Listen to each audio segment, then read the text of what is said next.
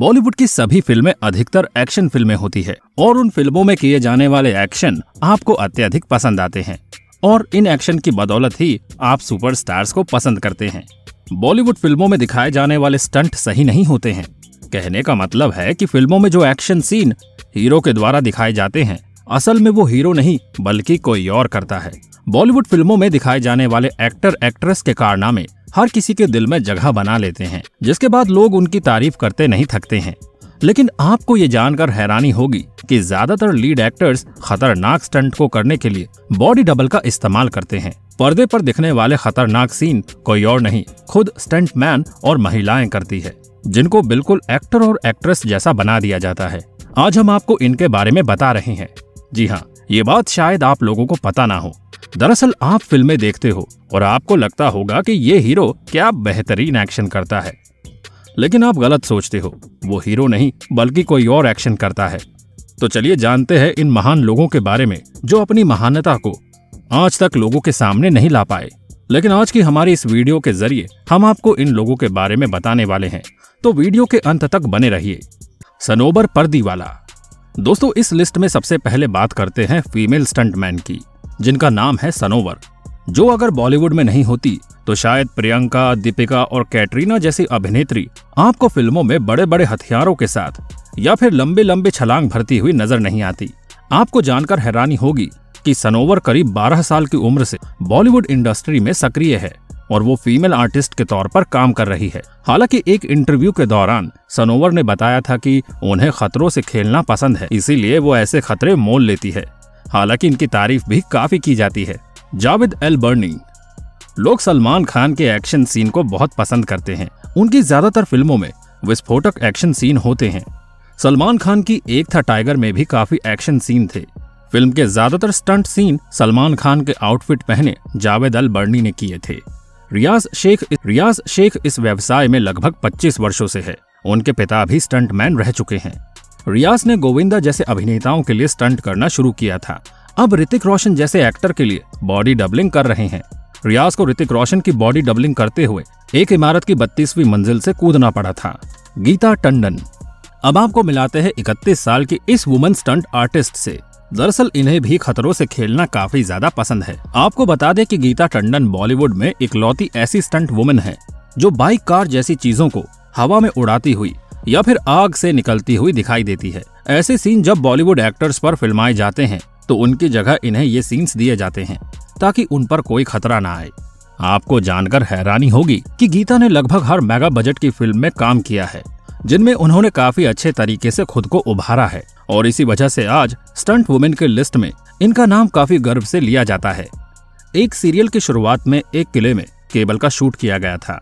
गीता को ससुराल छोड़ने के बाद से कभी किसी चीज़ का डर नहीं लगा। उन्हें लगता है कि डर के आगे जीत है और वो तब से आगे ही बढ़ती जा रही है। आसिफ मेहता सात साल से अधिक समय से स्टंट मैन है और उन्होंने मनोज वाजपेयी और इमरान हाशमी जैसे अभिनेताओं के लिए स्टंट किए हैं। हाजी कसम, इंडस्ट्री के बेहतरीन स्टंट मैनों में से एक हाजी भाई ने उन्नीस सौ इक्यानवे में काम के दौरान अपनी जान गंवा दी थी। हवा के बीच में एक कार को उल्टा पलटना हाजी कसम के काम का हिस्सा था। तेजाब, इनाम दस हज़ार और करिश्मा जैसी फ़िल्मों में उनके car stunt, animated pulp fiction से कम नहीं थे। फ़िल्म हमला की शूटिंग के दौरान हाजी भाई को पानी में एक कार चलानी थी और उसमें से कूदना था। दुर्भाग्य से वो अंदर फंस गए और बाहर नहीं आ सके। हाजी की 40 साल की उम्र में कैमरे पर मौत हो गई। एम एस बलराम, रावण फ़िल्म में अभिषेक बच्चन के सभी खतरनाक stunt scene M S Balram द्वारा किए गए थे। चूँकि बलराम और अभिषेक एक जैसे दिखते हैं इसलिए किसी को भी नहीं पता था कि उन्होंने ये सारे स्टंट सीन किए हैं। रेशमा पठान, बॉलीवुड ही नहीं, बल्कि देश की पहली स्टंट वुमेन रेशमा पठान ने चौदह वर्ष की उम्र से ही स्टंट करना शुरू कर दिया था। रेशमा पठान भारत की पहली स्टंट वुमेन है। उनकी पहली फ़िल्म बतौर स्टंट आर्टिस्ट एक खिलाड़ी बावन पत्ती थी। उसमें उन्होंने लक्ष्मी छाया जी के डुप्लीकेट का रोल किया था। शोले गर्ल के नाम से प्रचलित और रेशमा पर बन चुकी बायोपिक शोले गर्ल ने उनकी ज़िंदगी के बारे में तो लोगों को बयान किया है, लेकिन बॉलीवुड की पहली महिला स्टंट वुमेन बनकर आज भी सड़सठ की उम्र में वो स्टंट करने से नहीं कतराती। रेशमा पठान द्वारा किए गए कुछ महत्वपूर्ण सीन, जिसमें फ़िल्म एक खिलाड़ी बावन पत्ती में उन्हें अनबैलेंस होकर गिरने का शॉट दिया था। फ़िल्म मेरे अपने में, उन्होंने राजेश खन्ना और शत्रुघ्न सिन्हा के बीच फाइटिंग शॉट में झोपड़ी के ऊपर गिरने का शॉट दिया था। फ़िल्म शोले में हेमा मालिनी के डबल रोल में तांगे का एक सीन है जिसमें उनके तांगे का पहिया टूट जाता है और वो नीचे गिर जाती है। और होली वाले गाने के बाद एक सीन है, जिसमें कि हेमा मालिनी गब्बर सिंह से बच्चे को बचाती है। और वे दोनों ही सीन में बॉडी डबल का इस्तेमाल हुआ है। फ़िल्म कर्ज में उन्होंने सिमी ग्रेवाल का डबल रोल किया है। इस फ़िल्म के एक शॉट में ट्रक पीछे से आके धक्का मारता है। ये एक्शन सीक्वल करते हुए रेशमा की कमर में चोट आ गई थी। फ़िल्म कस्मे वादे में वो 40 फीट नीचे गिरी जिसकी वजह से उनके पैरों की हड्डी टूट गई थी। इस फ़िल्म में वो जॉनी के डबल रोल में नज़र आई। फ़िल्म पाप पुण्य में उन्होंने शर्मिला जी का डबल रोल निभाया है। फ़िल्म धर्म काटा में वहीदा जी का डबल रोल किया है। फ़िल्म बगावत में हेमा जी और रिया सेन का डबल रोल किया है।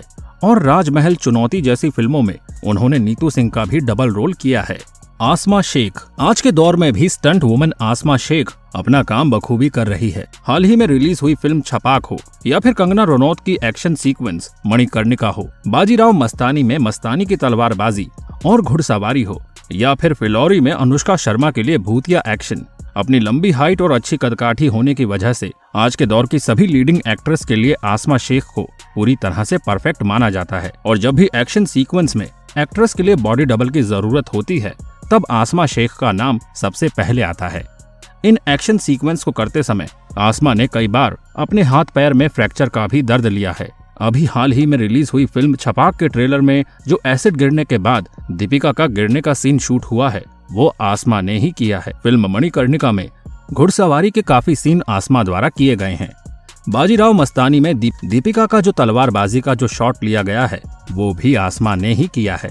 फ़िल्म परी में अनुष्का शर्मा का जंगल में भागना पेड़ के पीछे दुबकना ये सारे सीन भी आसमा पर ही फिल्माए गए हैं। उड़ता पंजाब के आलिया भट्ट के कई सीन भी आसमा पर फिल्माए गए हैं। हालाँकि इन सभी महिला स्टंट वुमेन आर्टिस्ट का यही कहना है कि घर की मजबूरियों के चलते उन्होंने इस जोखिम भरी लाइन में एंट्री मारी। लेकिन हर रोज मिलने वाली पेमेंट इनकी रोजी रोटी चलाती है। जूनियर आर्टिस्ट के कंपैरिजन में स्टंट आर्टिस्ट का पेमेंट कहीं ज़्यादा होता है। अंत में जब घर ज़्यादा पेमेंट लेकर आते हैं तो सारा दर्द छू हो जाता है। इन विमेन आर्टिस्ट का यही मानना है कि सिनेमा देखने वालों को एक्शन देखना पसंद है और हम अपनी हीरोइंस पर किसी भी तरह की आँच नहीं आने देंगे। उन्हें सुरक्षित कर खुद जोखिम से भरे स्टंट को अंजाम देंगे। पर्दे के पीछे ही सही अपने फैंस को बढ़िया एक्शन दिखाएँगे। वैसे दोस्तों, आप क्या कहना चाहेंगे इन फीमेल और मेल स्टंट आर्टिस्ट के बारे में, जो अपनी जान को जोखिम में डालते हैं और किसी के सामने नहीं आते? आपकी क्या राय है? हमारे साथ ज़रूर शेयर कीजिएगा। तो मिलते हैं अगले वीडियो में। तब तक अपना ध्यान रखिए और हमारा इंतज़ार कीजिए। Bye bye